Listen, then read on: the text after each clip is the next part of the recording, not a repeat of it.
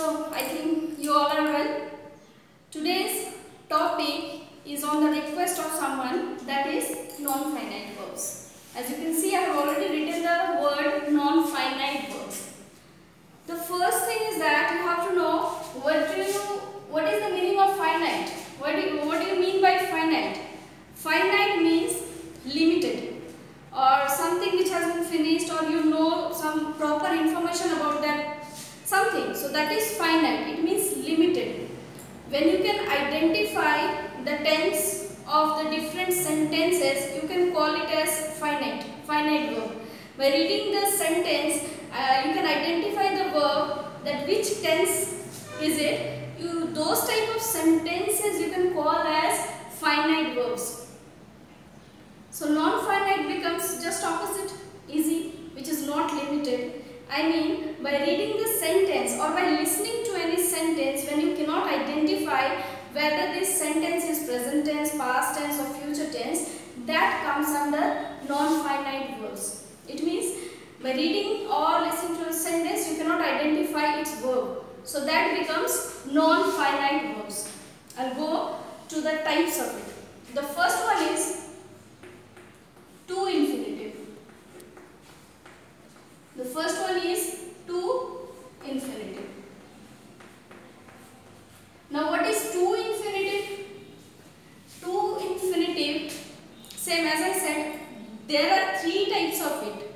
In all these three types, you cannot identify the verb, I mean the tense of that sentence. The example for non-infinitive will be, for example, he goes to, he goes to play, he goes to play, sorry, he goes to play games.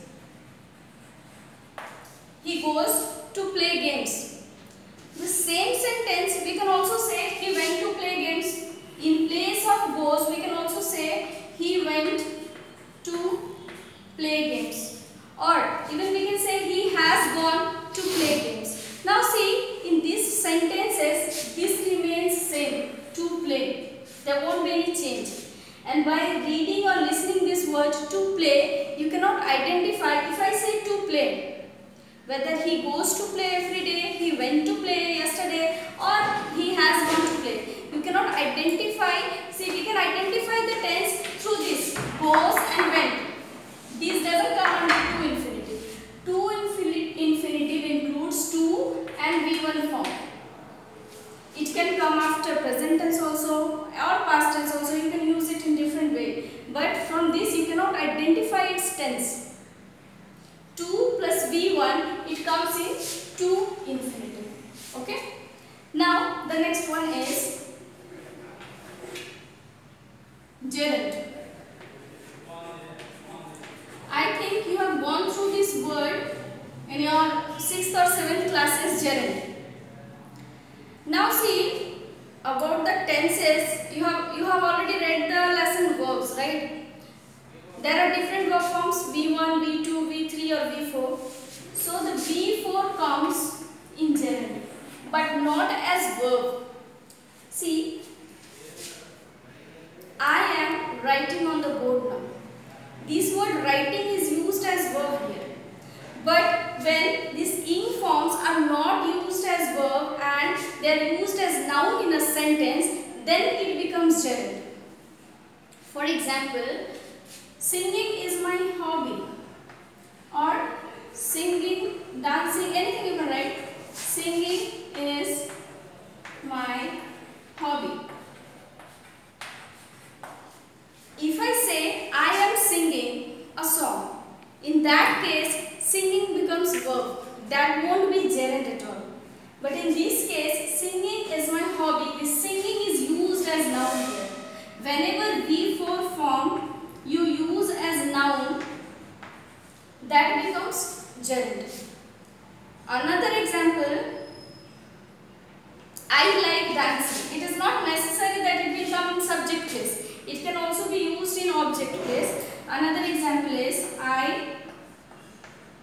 like dancing or I like playing. What do I like? I like dancing. So this dancing is also used as noun here though it is V4 ing forms, ing forms but it is used as noun here so it will be considered as gerund and not verb. This is gerund and not verb. Okay. Now we we'll go to the third point which is very very important and. See here, there is a few things to know, but the, what is the third one? The third one is the participles. We have different types of participles. Now we'll read about these participles. Okay. there are three types of participles. The third one is participle. There are three types of participles. What is the first one? The first one is present participle. The first one is present participle.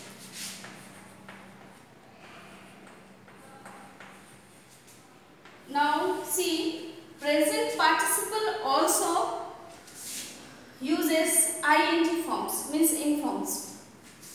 V4 example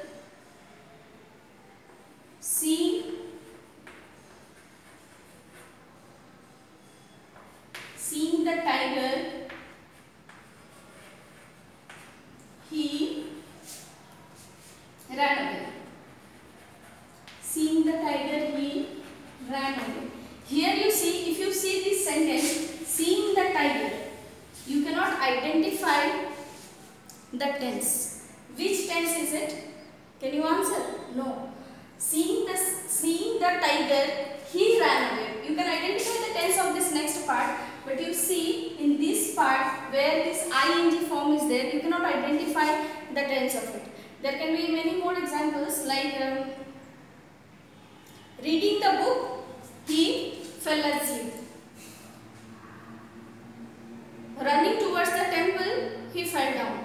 There can be many examples using ing in a sentence and uh, that will not be used as any V4 it, it cannot tell you the tense of that sentence that which tense is it. You cannot identify it at all. Next one is the past participle now see past participle will start with V3 and it will always be in passive form these type of sentences past participles they are in passive voice always now see example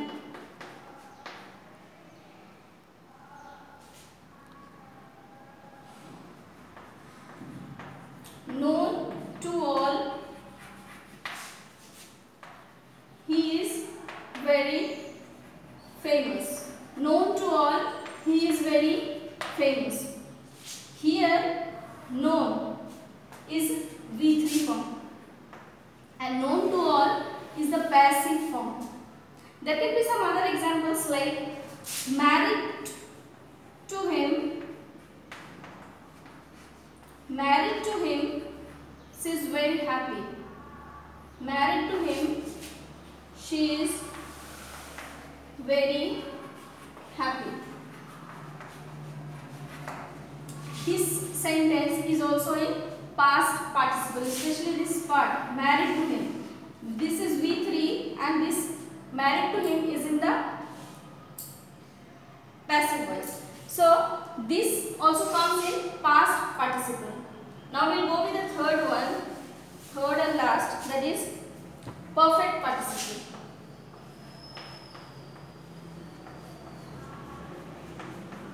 Perfect participle. Now it includes how can we write sentence in perfect participle? It starts with having plus V3. See, there is a trick to remember this. Don't get confused. See, present participle, ing forms, past participle V3 plus passive voice and perfect participle starts with having plus V3. Like present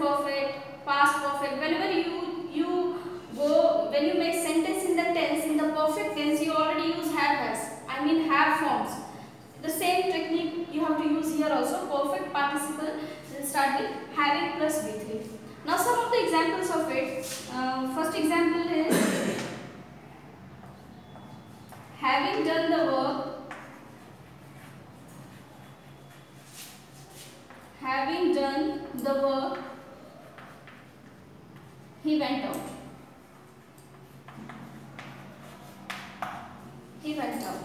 Some other examples you can also form. Um, having read the book he returned it to me um,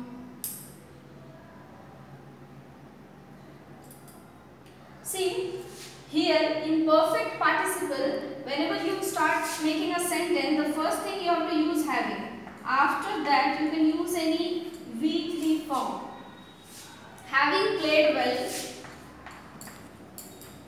having played well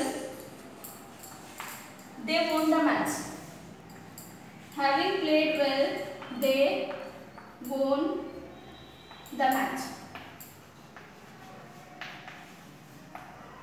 See here, having played well. This comes in perfect participle. Starting with having plus V3 and the next sentence you can form. So I think you understood this non-infinitive words. If you have any doubt, you can write me in the comment box. Thank you.